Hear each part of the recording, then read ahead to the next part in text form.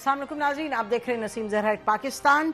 अभी कुछ ही देर पहले पीटीआई के हवाले से अहम फैसला आया इस्लामाबाद हाई कोर्ट का, जो कि 11 अरकान की नोटिफिकेशन जारी की थी। इलेक्शन कमीशन ने, एम एन एज की कि उनके इस्तीफे मंजूर कर लिए गए हैं, वो मुअत्तल हो गई है। तो इसका मतलब कि 11 जो उनके एम एन एज हैं they stand restored as M N As एक तो ये होगा दूसरा ये कि आप देख रहे हैं इस वक्त तमाम चैनल्स अपने यूट्यूब जो उनके चैनल्स हैं, उस पर सब दिखा रहे हैं इस वक्त जो कि इमरान खान साहब का ख़िताब है गुजरावाला में। और एज़ एक्सपेक्टेड बड़ी दुनिया आई है आप देख सकते हैं स्क्रीन पे भी। और इमरान खान साहब ने आज अपना अगला लाहे अमल जो है, वो अनाउंस करना है। आज उन्होंने ख़िताब किया वहाँ गुजरावाला की बार में भी। और उसके अलावा पाकिस्तान भर में वहाँ, वो भी यूट्यूब पे हम देख रहे हैं गाहे बगाहे के मुख्तलिफ़ शहरों में इमरान खान के साथ यकजहती के हवाले से आज सात बजे से लोग जमा हो रहे हैं। तो ये है पीटीआई का इस वक्त जो सिनारियो है और कोई उसमें कोई हैरान कन बात नहीं है। हम देख रहे हैं केसेस जो भी हों, इमरान खान की जो है यानी सपोर्ट वो कमी उसमें किसी सूरत नहीं आ रही। अब ये बड़ा चैलेंज है हुकूमत के लिए पीडीएम के लिए कि क्या करे। दूसरी तरफ़ आपने देखा कि कुछ रोज़ पहले इलेक्शन कमीशन ने अनाउंस किया कि जो 11 बाई इलेक्शन होने थे, उनको भी कहा कि पोस्टपोन करेंगे फ्लड्स की वजह से।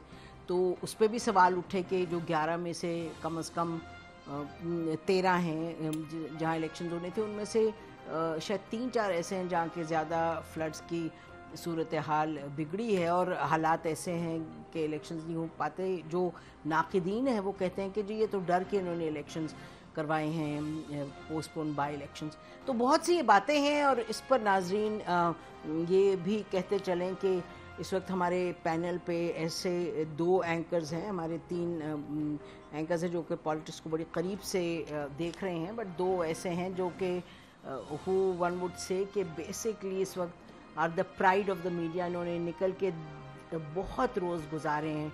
हमारे साथ हामिद मेहर बुखारी साहब हैं। ये दोनों फ़ील्ड में थे और सैलाब पे ये रिपोर्टिंग कर रहे थे और हम सबसे ये अच्छे हैं कि गए फ़ील्ड में और जाके इन्होंने रिपोर्टिंग की। हम लोग की टीम्स जा रही हैं रिपोर्टिंग टीम्स लेकिन देव गॉन आउट और जो उसको अहमियत देने की ज़रूरत थी, इतने बड़े क्राइसिस को वो इन्होंने दी। और हमारे साथ हामिद मीर साहब हैं, मेहर बुखारी साहब हैं मोहित पीजादा साहब। आप इन तीनों को जानते हैं इससे ज़्यादा इंट्रोडक्शन क्या करें सीधा चलते हैं सवाल पे। हमें मीर साहब बताइए अब हुकूमत के पास क्या ऑप्शन है इस वक्त? इस मामले में ये जो इस वक्त ये जो बढ़ती हुई एक सपोर्ट है कम अज कम इंटैक्ट सपोर्ट तो है। ये एक सियासी एक चैलेंज है और हम देख रहे हैं कि वो बढ़ता जा रहा है चैलेंज उसमें कमी तो नहीं आ रही। तो मैं तो क्योंकि पिछले दिन काफ़ी दिनों से मैं तो फ्लड अफेक्टेड एरियाज़ में हूँ। तो मुझे तो नहीं आपकी ये जो स्पोर्ट रिपोर्ट है, हो सकता है ये जहाँ पे जलसा हो रहा है, वहाँ पे काफ़ी लोग हों, या ये जलसे वहाँ पे हो रहे हैं जहाँ पे खिलाफ नहीं है। तो कल मैं कलाम में था और वहाँ पे आपको पता है कलाम में एम एन ए दोनों जो है वो पीटीआई के हैं। लेकिन वहाँ पे मुझे कल को एक भी आदमी ऐसा नहीं मिला जो कि आई की सपोर्ट कर रहा था। और इसी तरह जब मैं सिंध में जाता हूँ तो वहाँ पे दादू हो या खैरपुर हो, मुझे कोई एक भी बंदा ऐसा नहीं मिलता जो पीपल्स पार्टी की सपोर्ट कर रहा हो। और उससे पहले मैं गया था राजनपुर, डीजी खान। तो वहाँ पे मुझे कोई एक भी बंदा नहीं मिला जो नून लीग को या काफ लीग को या पीटीआई को सपोर्ट कर रहा है। तो इस वक्त दो पाकिस्तान है। एक पाकिस्तान वो है जो खिलाफ में डूबा हुआ है।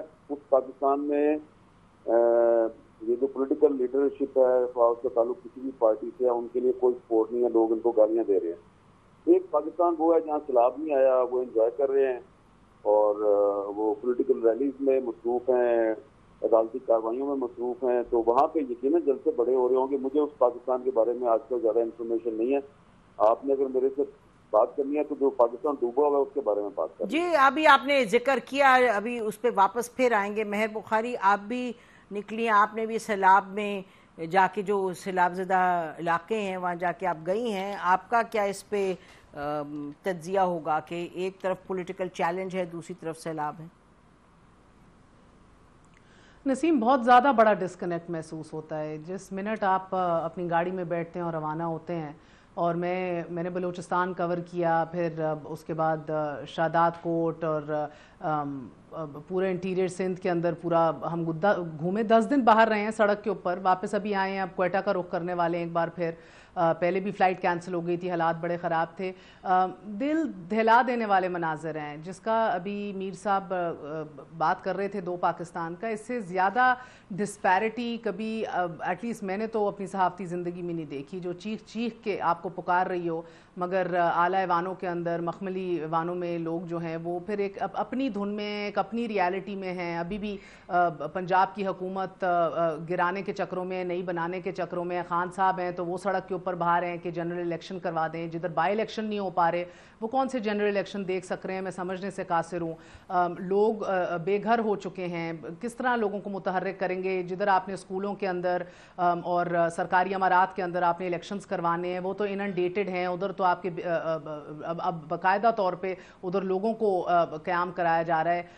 कोई इंफ्रास्ट्रक्चर तहस नहस हो चुका है। लोग किस तरह पहुँचेंगे बैलेट बॉक्सेस तक भी? आप किस तरह हरकत में लाएँगे? पूरी आपकी सरकारी इंतज़ामिया जो है सिविलियन भी, आपकी मिलिट्री भी, सारे मुतहरक इस काम में लगे हुए हैं। लेकिन हमारे पॉलिटिशियंस लगता है कि बिल्कुल मुकम्मल तौर पर एक अपनी रियालिटी के अंदर हैं। मुझे लगता है कि ये बड़ी, अभी एंटोनियो गुटेरस भी आए हुए हैं जनरल सेक्रेटरी यूनाइटेड नेशंस के। और अगर आप, मैं यही देख रही थी बैठ के टोन और टेनर और लहजा देखिए, आपको खबर मिल जाए और आप उसको पढ़ के सुना दें, बहुत फ़र्क है ग्राउंड के ऊपर जाके देखना और लोगों की आ सुनना।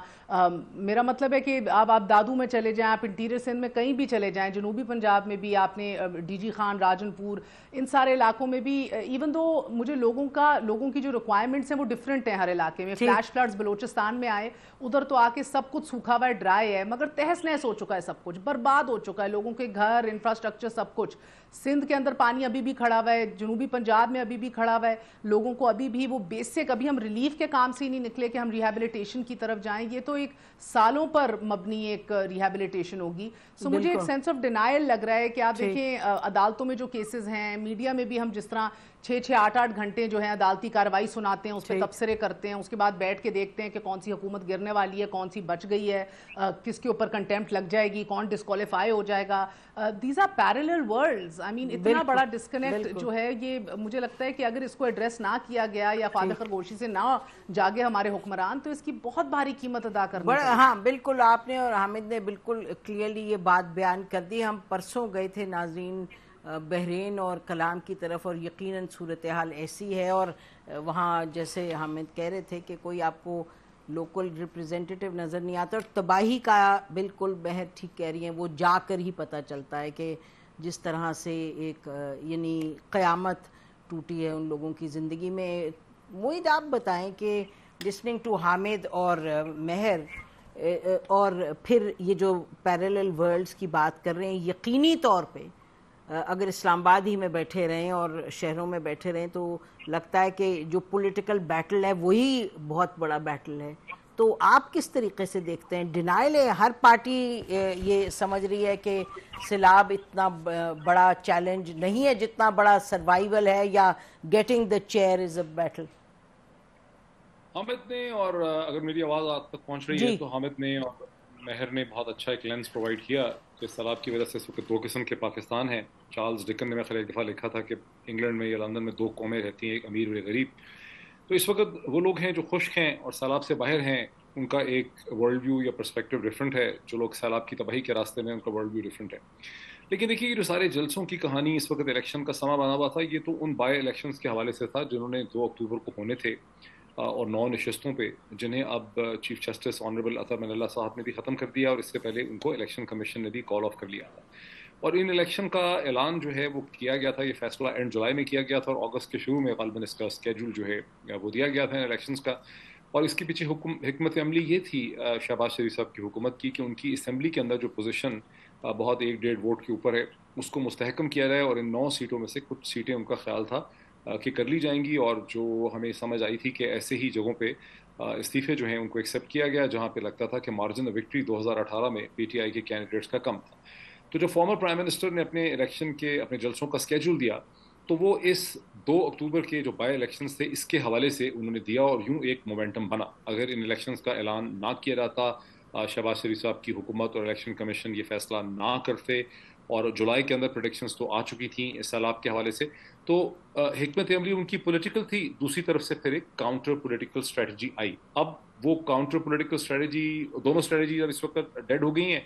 इसलिए कि शहबाज शरीफ की हुकूमत को सारी रिपोर्ट्स मिली थी और वो मैं, मुझे इसका अच्छी तरह से अंदाज़ा है कि उनको रिपोर्ट्स मिली कि एक भी हल्का वो लोग जीत नहीं सकेंगे और इमरान खान नौ के नौ कॉन्स्टिटेंसी जो है इनको स्वीप कर देंगे। कराची के बारे में दो तीन दफ़ा रिपोर्ट को वेरीफाई करवाया गया। मैं कराची में था, मुझे इसका नॉलेज है और वहाँ गुस्सा भी बहुत था हुकूमत के खिलाफ शहर में। बाकी सब जगहों से भी यही रिपोर्ट्स आई थी। तो डिसीज़न हुआ कि उनको कॉल ऑफ़ कर लें, वो कॉल ऑफ़ हो गया। अब हाई कोर्ट ने भी कह दिया है कि वो उसको उसका जो ऑर्डर था ईसीपी के, उसको भी सस्पेंड कर दिया। तो वो बात तो ख़त्म हो गई। और जनरल इलेक्शन तो इस वक्त हो रहे नहीं है, वो तो एक असूली तौर पर फैसला हो गया है। कि जनरल इलेक्शन तो कहीं कम अज़ कम भी होंगे तो मार्च अप्रैल में होंगे। और मेरा ख्याल है कि ये तो तहरीक इंसाफ को भी पता है इमरान खान को भी पता है ये बताइए जो अभी आपने भी सुना हामिद और मेहर जो कह रहे हैं तो उसके नतीजे में सियासी नुकसान कितना बड़ा होगा? जैसे हामिद कह रहे हैं कि भाई जहाँ जाए तो गालियाँ पिट रही हैं सब सियासी जो जमातें और लीडरान हैं उनको। तो ये तो आपने ठीक कहा कि जल्द से अनाउंस जब हुए थे जब इलेक्शन की डेट्स अनाउंस हुई थी लेकिन ये सैलाब को तो दस दिन हो गए आए हुए दस बारह दिन। तो ये बताएँ कि पीटीआई कितनी मुतहरक हुई उन इलाकों में जाके जहाँ के सैलाब हैं यानी कि people would be expecting that to Naseem ये सही नहीं है कि सैलाब दस दिन से आया है। सैलाब तो जुलाई से मसलसल नहीं नहीं जब बहुत तबाही मची है पिछले दो हफ़्ते से। ज़्यादा। हाँ ज़्यादा दो हफ़्ते बल्कि अब तो तीन हफ़्ते हो गए हैं कि जिसमें उसकी इंटेंसिटी में बड़ा शिदत से इजाफा हो गया है। किस पर्टिकुलर पॉलिटिकल पार्टी ने उसमें कितनी रिलीफ ऑर्गेनाइजेशन में काम किया है? मुझे नहीं उसका अंदाज़ा। अफवाज पाकिस्तान की विजिबिलिटी जो है वो बहुत ज़्यादा है। उन्हीं के पास कैपेसिटी और स्ट्रक्चर भी है। फंड रेजिंग ज़रूर की होगी। आई डोंट नो कि पी एम एल एन ने कितनी की है। तहरीक इंसाफ ने खासी फंड रेजिंग करने की आ, कोशिश की है। मैंने एक टेलीफोन भी अटेंड किया था जिसमें पाँच बिलियन रुपये से ज़्यादा की प्लेजेस हुई थी। हम लोगों ने उसमें पैसे दिए हैं। मेरा ख्याल है कि उसमें से ढाई अरब रुपया तीन चार दिन पहले पता चला था कि बैंकिंग चैनल से जो रियलाइज़ हो चुका है। जहाँ तक इम्प्लीकेशंस का ताल्लुक है फ्लड की, देखिए, ये बिल्कुल हामिद ने सही पॉइंट आउट किया कि इस वक्त अब एक बड़ी सख्त रिजेक्शन है। बहुत अच्छा उन्होंने एक्सप्लेन किया कि मुख्त जगहों पर गया वहाँ पर इसका नाम नहीं था, उसका नाम नहीं था। अब ये जो रद्द अमल ये जो सेंस ऑफ़ रिजेक्शन और एलिनेशन इस वक्त है लोगों की, ये क्या शक्ल इख्तियार करेगी आने वाले चंद हफ्तों में कैसे हुकूमत या सियासी जमातें लोगों को इंगेज कर पाती हैं उनके गम और उनके दुख का मदावा करती हैं, जो एक एस्टिमेटेड है कि तेरह सौ से ज़्यादा लोगों की हलाकत हो चुकी है, उनका नुकसान कितना हुआ है, उनकी मिलियंस जो हैं वो डिस्प्लेस हो चुके हैं। इसका पाकिस्तान की पॉलिटिक्स पे क्या असर होगा, ये हमें आने वाले हफ्तों में पता चलेगा। ये अभी नहीं पता चलेगा। नाजीन, बड़ा सवाल यही उठता है, इस गुफ्तु से ब्रेक के बाद हम हामिद मीर साहब के पास आएँगे, बुखारी साहबा, और यही सवाल हम उनसे भी करेंगे। Stay with us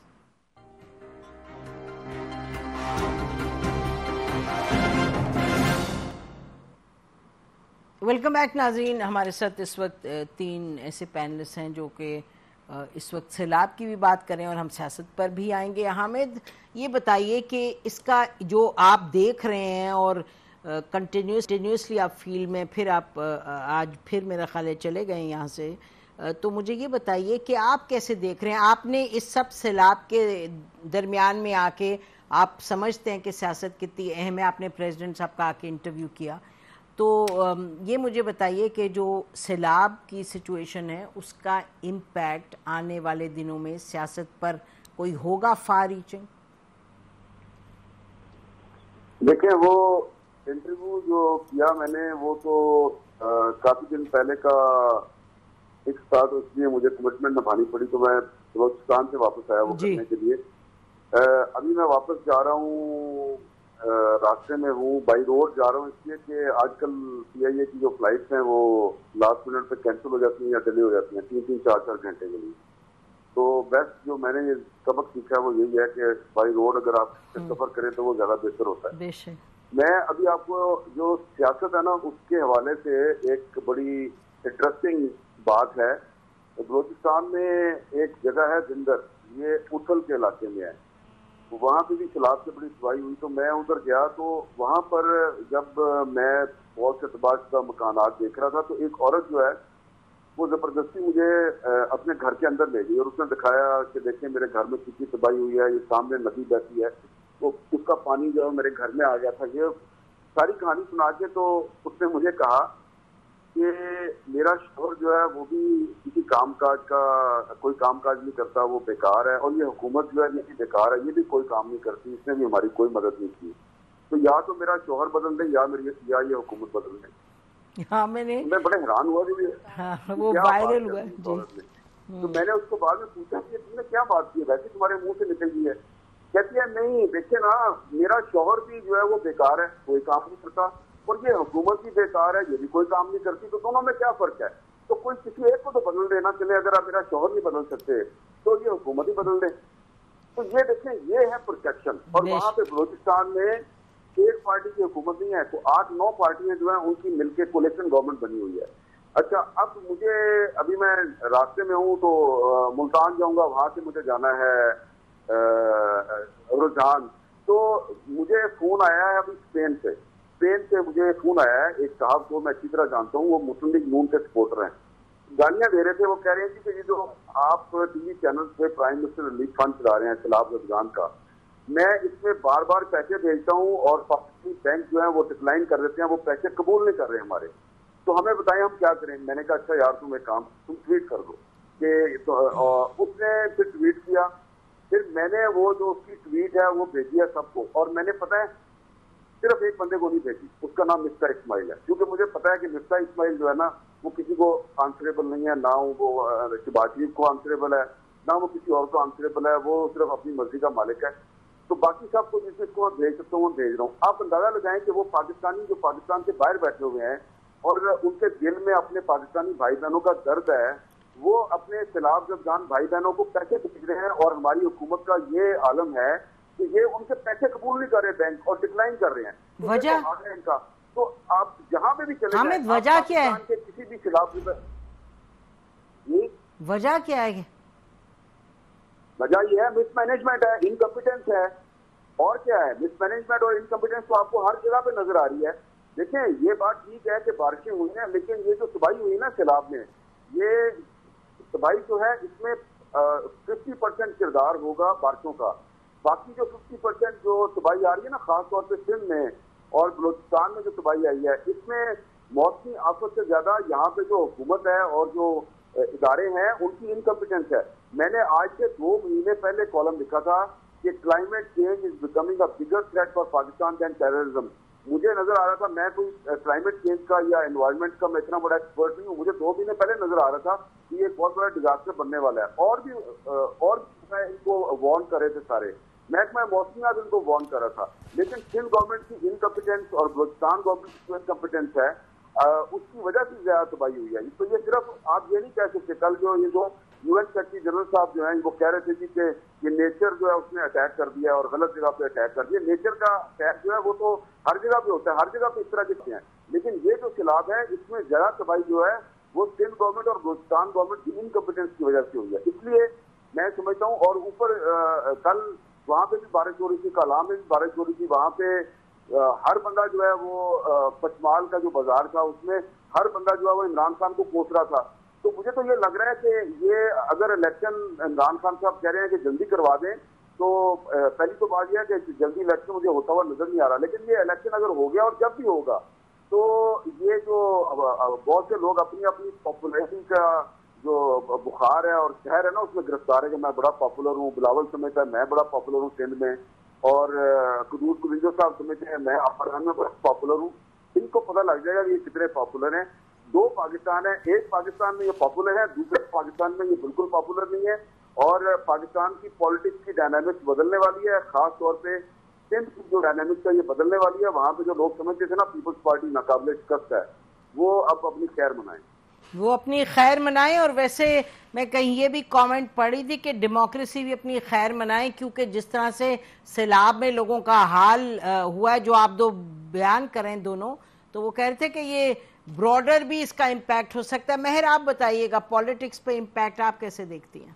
मैं मैं नसीम अगर आप मुझे इजाज़त दें मैं दरिया को कूजे में समेटने की एक थोड़ी सी कोशिश करूँगी। ज़रूर। हर बात जो हामिद भाई ने कही है ये सौ फ़ीसद इसकी तस्दीक करते हुए आगे भी एक बात कहना चाहूँगी कि देखिए ये जहन में रखिए कि ना सिर्फ़ ये सही बात कह रहे हैं महकमा मौसमियात और एन डी एम ए ने पेशगी इतलात और हेड्सअप दिया हुआ था मिड जून से ये मॉन्स्टर मॉनसून जो है ये स्टार्ट हो गया था, जो जो काम करने वाले थे। देखिए, एक बात है फॉर इंस्टेंस मिसाल के तौर पे कि जिस तरह एक भरमार थ्रेट्स और गालियों की मुझे पड़ रही है पीपल्स पार्टी के ऑफ़िस बेरर और होल्डर्स और फॉलोअर्स से, कि आपको सिर्फ़ सिंध नज़र आ रहा है, यानी कि आप शुक्र अलहमदिल्ला करें कि हम आए हुए हैं, हमने आपके साथ हफ़्ता गुजारा है सिंध में। नहीं, मगर वो नहीं ये देखते कि बलोचिस्तान भी कवर हो रहा है साउथ पंजाब भी कवर हो रहा है, खैबर पख्तूनख्वा भी हम हेड कर रहे हैं, वो ये नहीं देखते। But the point is because ये जो अपनी मिस मैनेजमेंट है, इंतजामी ना अहली है उसके ऊपर वो चाहते हैं कि रोशनी ना ना पड़े। वो कोई नहीं चाहता इनमें से। सिर्फ़ ये पीपल्स पार्टी की बात नहीं, इनमें से कोई नहीं चाहता। करने वाले काम क्या थे?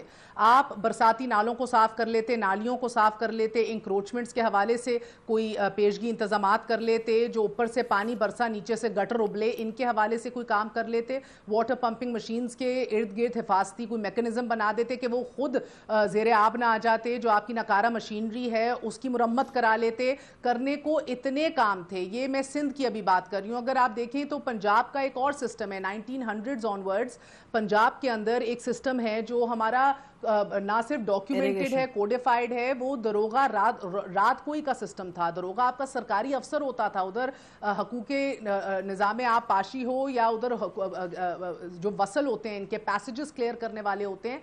कोहे सुलेमान जो रेंज करती है all the way from Balochistan to west Sindh उसके ऊपर एक पूरी आबादियाँ जो बनी हुई हैं उनका काम होता था ये। All the way nineteen hundred onwards ये सिस्टम चलता था कि वो अपने पैसेजेस साफ़ करते थे रिडंडेंट हो गया सिस्टम फिर इंक्रोचमेंट्स बन गई है नेशनल हाईवे है रेलवे हाँ। है अब पानी ईस्ट से वेस्ट भी जा रहा है और जो उसका नेचुरल बहाव है नॉर्थ से साउथ भी आ रहा है बीच में तबाही मच रही है। अब ये पैसेजेस जो हैं इनकी ना डीसिल्टिंग हुई है ना इनकी चौड़ाई के ऊपर काम किया गया है इनको वाइडन किया गया है इसीलिए तबाही मच रही है क्योंकि हमारे यहाँ मसला ये है नसीम जहरा साहिबा कि यहाँ फॉर द सेक माजरत करती हूँ मैं नहीं पोलिटिसाइज कर रही मगर सच सच की खातिर।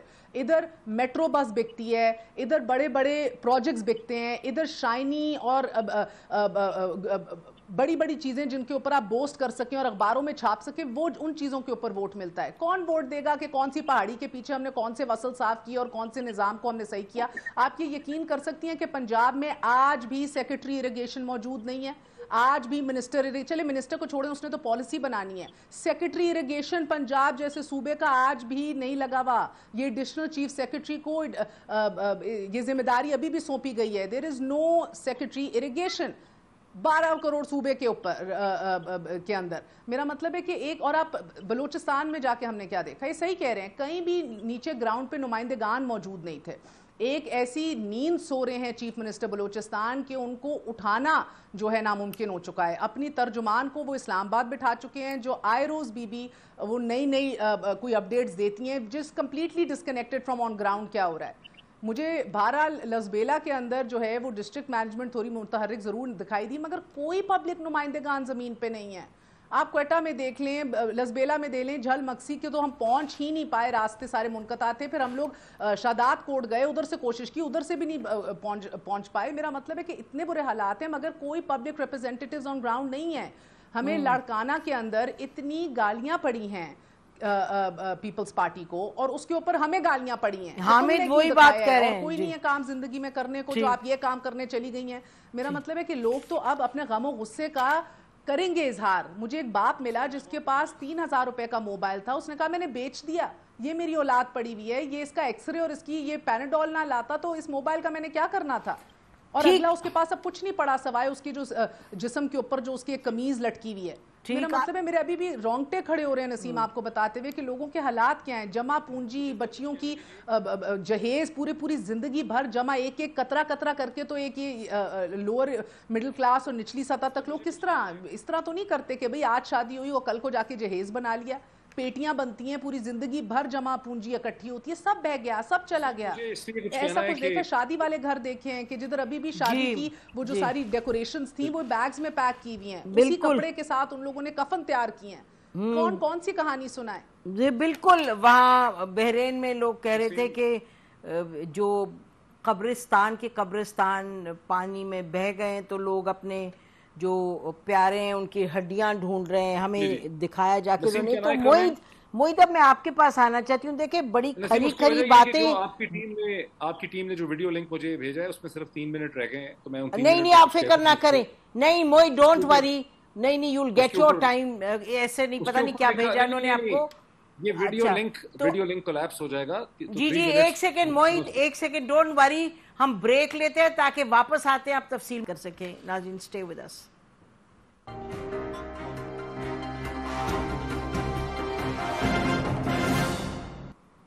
welcome back नाजीन। आप सुन रहे हैं हमारे एनालिस्ट से कि एक तो फ्लड की जो सिचुएशन है, वो क्या है और उसके बाद बात हो रही कि उसका इम्पैक्ट सियासत पे क्या होगा। जी मोहिद आपने ये पूरी ये पूरी गुफ्तु सुनी तफसील में। यकीनी तौर पे मिनिस्ट्री ऑफ़ क्लाइमेट भी कहे थे, उन्होंने हमने ढाई महीने पहले रिपोर्ट दी थी। बट लगता है कि सियासत में सियासी मुकाबलों में सब लोग इतने महव रहते हैं कि ये जो मामलात हैं, जो महर और हामिद आइडेंटिफाई कर रहे हैं, उस पर फोकस रहता नहीं है हुकूमतों का। बिल्कुल सही आप कह रही हैं, बहुत ही अच्छा एक्सप्लेन किया हमें मीर साहब ने भी और महर ने भी। और लेकिन जैसे ही सूरत हाल ख़त्म होगी और चंद हफ्तों में आप देखेंगे कि पाकिस्तान का सारा फोकस जो है इससे डिसअपियर हो जाएगा। क्योंकि एक रिपोर्ट में देख रहा था या एनालिसिस में देख रहा था कि जो फ्लड जिन बेसिकली फ्लड के कुछ रूट्स होते हैं ये सही है कि इस दफ़ा बाज़ ऐसे रूट्स के ज़रिए भी फ्लड वाटर या उसकी डेवस्टेशन नीचे आई है जो नए हैं जो पहले पहले वो वैसे पहले वो चैनल्स नहीं थे। लेकिन बाय एंड लार्ज अगर आप देखें 80 90 परसेंट तो वही चैनल्स हैं जहाँ से फ्लड आता है। और उन चैनल्स को और उन रा, जो रास्ते हैं फ्लड के नीचे आने की तबाही के वहाँ पे गुजशत 12 बरस में जब 2010 का बड़ा फ्लड आया था उसके बाद से कुछ नहीं हुआ। नाइन्टीज़ में भी दो तीन दफ़ा बहुत बड़े फ्लड आए थे, एटीज़ में भी फ्लड आए थे। तो अब जो भी, यानी इस वक्त हमें भी जो एनालिसिस दे रहे हैं, या इसकी, ये तो ख़त्म हो जाएगा चंद दिनों में। ये जो इस वक्त की फीलिंग है, ख़त्म हो जाएगी और पाकिस्तान की हुकूमतें जो हैं, वो अपने उसी रास्ते के ऊपर वापस चली जाएँगी। इसकी बहुत बड़ी वजह ये है, जब महर एक्सप्लेन कर रही थी तो मैं उस वक्त यही कहना चाह रहा था। उसकी वजह कि इस मुल्क में कभी भी हकीकी जो जमहूरियत है वो आई नहीं है और यहाँ लोकल गवर्नमेंट्स का कोई कॉन्सेप्ट नहीं है। अगर यहाँ पर हुकूमतें आई भी हैं यहाँ बेसिकली सिविल मिलिट्री रूल कर रही है 1951 से ही क्योंकि जिस पार्टी ने पाकिस्तान बनाया था, उसके यहाँ कोई रूट्स थे ही नहीं, पंजाब से तो खैबर पख्तूनख्वा में। तो उन्होंने तो एक इस्लाम का नारा उस वक्त लगाया और उन्होंने इस वक्त मुल्क बना लिया कि हिंदू, मुस्लिम, लेकिन उनके पास कोई पॉलिटिकल ढांचा नहीं था। क्योंकि उनके पास पॉलिटिकल ढांचा नहीं था लोकल सपोर्ट नहीं थी इलेक्शन कराते नहीं थे तो उसके बाद वो सिविल मिलिट्री जो है पहले सिविल ब्यूरोक्रेसी ने, उसके बाद मिलिट्री ब्यूरोक्रेसी ने इस मुल्क को टेक ओवर कर लिया एंड दैट इज़ हिस्ट्री उसके बाद से यहाँ पर जो भी एक जमहूरियत आती है, जैसे 1972 77 के दरम्यान में आ गई, वो एक बड़ी टेम्प्रेरी होती है। उसके बाद कभी आई नहीं। 77 के बाद से एक ड्रामा हो रहा है एक डेमोक्रेटिकली इलेक्टेड गवर्नमेंट का, और लोकल गवर्नमेंट्स है नहीं है। तो अगर लोकल गवर्नमेंट्स होंगी तो वो रिस्पॉन्सिव होंगी लोगों की नीड्स का क्योंकि उनको इलेक्शन होना, करवाना होगा, उनकी खुदगर्जी होगी, उनको हर दो तीन साल के बाद इलेक्ट होना होगा तो अपने मसाइल का हल निकालने की कोशिश करेंगे। कराची शहर को देख ले, मैं वहाँ पे था चंद दिन पहले। इतना बड़ा शहर दुनिया में कोई भी ऐसा नहीं है जो किसी प्रोविंशियल गवर्नमेंट उसको चलाती हो। मतलब कम अज़ कम भी कराची शहर की आबादी, जो उसके गिरदो नवा को मिला लें तो 25 मिलियन होगी। वहाँ सबसे बड़ी पॉलिटिक्स ये भी है कि उसकी आबादी ना गिने ठीक तरह से। उसकी आबादी नहीं गिनी जाती, उसके मसाइल का हल नहीं होता। चूँकि अब वहाँ उसको सिंध हुकूमत का हिस्सा बनाया हुआ है, वहाँ पे जो उनकी सरकार अफसरशाही है, वो एक्सट्रीमली इंसेंसिटिव है to the needs of the city of Karachi. तो या उसको सेंटर क्या सेंटर का ज़ोर है कराची के ऊपर, यानी कराची जो शहर है जिसका पोटेंशियल रेवेन्यू था, जो दुबई हो सकता था अगर उसको उसको ना ख़राब किया जाता है एटीज़ के बाद, वो अजीब गरीब किस्म के हालात में वो शहर पाया जाता है। बाकी सारे मुल्क के भी यही हालात हैं। तो चूँकि यहाँ पर और पॉलिटिक्स का नाम यहाँ पर बहुत अनहेल्दी है जमहूरियत को भी लोग एक नेगेटिव लफ्ज़ के तौर पे देखते हैं क्योंकि जो कुछ उसके साथ हुआ है, लोग समझते हैं कि जब आप जमहूरियत की बात करेंगे डेमोक्रेसी की बात करेंगे और लोग खुलम खुला कहते हैं बड़े पढ़े लिखे लोग ये कहते हैं वो कोई खाली मिलिट्री ऑफिसर्स नहीं है उसमें पाकिस्तानी दानश्वर भी हैं सिविल सोसाइटी के लोग हैं कॉरपोरेट है वो समझते हैं कि यहाँ पर एक मज़बूत किस्म की कोई हुकूमत होनी चाहिए। और एग्जाम्पल्स वो देने लग जाते हैं दुबई के सिंगापुर के किसी और जगह के छोटे छोटे हमारा एक्सपीरियंस तो रहा है Moeed I mean we gone through all sorts of governments है ना? मैं तो ये कह रहा हूँ कि हमारे यहाँ तो जमहूरियत आई नहीं ना कभी बिकॉज़ डेमोक्रेटिक इंस्टीट्यूशन ही नहीं है हमारी जो पोलिटिकल पार्टीज़ है वो भी डेमोक्रेटिक नहीं है। इस वक्त सिर्फ़ दो ही ऐसी जमातें हैं जिनको दो तीन है जिनको नॉन डेनेस्टिक आप कह सकते हैं जो बेसिकली फैमिलीज़ की एक्सटेंशन नहीं है लेकिन उनके भी कोई अच्छे हालात नहीं है। तहरीक इंसाफ जो है उसके पास भी कोई स्ट्रक्चर नहीं है लेकिन एटलीस्ट वो डेनेस्ट्री एट द मोमेंट नहीं है। नहीं उनके टॉप लीडर्स को देखें एक सेकंड मोहित एक सेकंड शाह महमूद कुरैशी साहब ने बेटे बेटी को डाला परवेज खटक साहब के तो माशाल्लाह खानदान के बहुत लोग हैं। तो इमरान खान साहब का खानदान अपना नहीं है यहाँ but otherwise won't you agree कि जहाँ जिसको मौका मिलता है वो खानदान पूरा का पूरा ले आता है? जी बिल्कुल सही है वही मैंने शुरू में कह दिया कि मतलब कोई अच्छे हालात उनके पास नहीं है और अगर खुदा न खासा इमरान खान को कुछ हो जाए आखिर सत्तर साल के वो हैं और वो कोई इलेक्टेड फॉर इमोटेलिटी तो नहीं है ना इलेक्टेड फॉर ऑफ़िस तो हो। सकता है कोई तो तहरीक इंसाफ का क्या होगा? मतलब और ज़ाहिर है उनके जो दुश्मन इस वक्त हैं वो यही प्लान करते हैं कि इमरान खान को अगर डिस्कालीफाई करते हैं तो शराजा बिखर जाएगा या मार ही डालें। मतलब ज़ाहिर है ये भी सोच रहे होंगे। तो पाकिस्तान के हालात जो हैं वो बड़े कमज़ोर और बड़े मुश्किल हालात हैं और लोग ये सोच रहे हैं कि, कि सब कुछ ऐसे ही चलता रहेगा। जैसे हम लोग अपनी ज़िंदगी के बारे में सोचते हैं हर इंसान सोचता है ना वो ये तो नहीं सोच रहे होते लोग कि हमने मर जाना है। तो अक्सर लोग यही सोच रहे होते हैं कि ज़िंदगी इसी तरह से चलती रहेगी। तो मुझे पाकिस्तान की रियासत चलते नज़र नहीं आ रही है। अल्लाह करे कि मैं बिल्कुल गलत कह रहा हूँ, लेकिन मुझे यही लग रहा है कि अगर ये हालात ऐसे ही रहेंगे पाकिस्तान के अशराफिया के, जो इनसेंसिटिविटी है कंसेंसस नहीं है मामला की अंडरस्टैंडिंग कोई नहीं है ग्रेट मेजोरिटी पैंसठ से सत्तर फ़ीसद आबादी जो है उसकी उम्र पैंतीस बरस से कम है, उनके पास कोई मीनिंगफुल जॉब्स नहीं है, उनके पास कोई स्किल सेट्स नहीं है गुस्से से भरे पड़े हुए हैं ऊपर जो डिसीज़न मेकर्स हैं वो साठ साठ, सत्तर सत्तर साल के हैं तो टोटली डिसकनेक्टेड हैं। कि नीचे जो नौजवान हैं वो क्या फील करते हैं? और मीनिंगफुल जॉब्स जो है ना ये बड़ी इंपॉर्टेंट टर्म है। जॉब इज़ खाली खाली जॉब मैटर नहीं करती। पाकिस्तान में लोगों के पास मीनिंगफुल जॉब्स नहीं है। मीनिंगफुल जॉब वो होती है जो उनके जहन को किसी क्रिएटिव डायरेक्शन में ले जाए और वो महसूस करें कि वो अपनी ज़िंदगी में या अपने माशरे के अंदर कोई कॉन्ट्रीब्यूशन कर रहे हैं। तो हमारे यहाँ हुकूमतें अपने लोगों को खुश करने के लिए जॉब्स क्रिएट कर देती हैं और उनको रखे रखती हैं। जैसे स्टील मिल्स की एग्जांपल है गुजशत बीस साल से उसकी जॉब्स चल रही हैं। इस तरह से जो स्टील मिल्स नहीं भी है वहाँ पर भी बेकार किस्म की जॉब्स हैं। पाकिस्तानी यूथ के पास कोई स्किल सेट्स नहीं है। जितने लोगों के पास थोड़ी सी ज़्यादा तो ये आपने आपने अच्छी तरह से इसको एनालाइज किया लेकिन यकीनन होपलेस तो नहीं है सिचुएशन इसको बेहतरी की तरफ़ तो जाना होगा ना यानी कि इलेक्शंस होंगे। अभी भी जो हुकूमत तो, है वो भी कोशिश तो कर रही है। की जो टेक्स्ट बुक की किताब है नसीम हमारी जो पंजाब टेक्स्ट बुक की किताब है और जो हमारा पीटीपी का लेक्चर होता है वो तो यही होता है ना कि ना उम्मीद आपने नहीं होना। तो उस हिसाब से रेटरेट के पॉइंट मैं टेक्स्ट बुक की बात नहीं करी एक पाकिस्तानी के हिसाब से। नहीं होना चाहिए। हम्म। लेकिन अगर आप एक ऑब्जेक्टिव एनालिस्ट हैं आप अगर पाकिस्तान से बाहर बैठे और पाकिस्तान की सूरत हाल देख हाँ, सही बात है। It's it's a very challenging no doubt about it Mohit unfortunately time खत्म हो रहा है। Quick last comment from Hamid and Mehar ji Mehar quickly मैं ऑफ़ कोर्स मैं, ये राइटिंग ऑन द वॉल है। मेरा मतलब है कि आप अगर इसको डिवाइड करके भी देख लें इकोनॉमिकली देख लें, आपका low tax to GDP ratio है, आपका high debt to GDP ratio है, यानी कि ट्रांस टू ट्रांस हम अपनी सर्वाइवल की बात कर रहे हैं, जब ये सैलाब का पानी उतरेगा तो फिर क्या हालात होंगे जब अजनास को और फ़ूड इनसिक्योरिटी हमें एट करेगी और हमें इंपोर्ट करना पड़ जाएगा सबको? एक और या, या, या एक और मंजर होगा इस मुल्क के अंदर। तो आप कह रही writing is on the wall Mohit साहब के साथ कि अगर हम्म। हम लोगों ने अगर हम ना इस ख्वाब गफलत से जागे हमने ना अपनी एजुकेशन चेंज की ना अपनी प्रायोरिटीज चेंज की ना मीशत के ऊपर इकट्ठे हुए एक कोई देखा कि भाई हमारे ये गोल्स हैं किस तरह इंसुलेट करना है पोलिटिकल शॉक से हमने बड़े इकोनॉमिक फैसलों को हम लोग हाँ सही कह रही है। We'll have to basically are headed हाँ let me very bad situation Mehar let me just go to Hamid Hamid आपका कमेंट लास्ट कमेंट आपने सुना मोहित जो मेरा कोई कमेंट नहीं है। मुझे अभी थोड़ी देर पहले मैसेज आया कि दादू में बारिश शुरू हो गई है और उधर जो लोग सड़कों पे खुले आसमान तले बैठे हुए हैं इंतज़ार कर रहे थे पानी नीचे जाए उन्होंने वहाँ से भी भागना शुरू कर दिया है। पता नहीं क्या होगा। और भी कुछ इलाकों में बारिश शुरू हो गई है। और दूसरी बात यह है कि आज दोपहर को मैंने एक रिपोर्ट पढ़ी है कि अगले साल इससे भी ज़्यादा शदीद बड़ा सैलाब आएगा। तो अगर हमारी इनकम्पिटेंस इसी तरह जारी रही तो अगस्त सितंबर में अगर इलेक्शन होना है अगले साल तो मुझे नहीं लगता कि अगर दोबारा जून, जुलाई 2023 में बारिशें हुई और दोबारा सैलाब शुरू हो गया और वो इस साल से बड़ा हुआ तो फिर भूलिए आप इलेक्शन को। हम्म, हालात गमगीर हैं और कितना हम तैयार हैं उसके मुकाबला करने का, वो सब जानते हैं आपने पैनलिस्ट की ज़ुबान। सुना हमारी तरफ़ से जितना ही। खुदा हाफिज नाजरीन, पाकिस्तान, जिंदाबाद।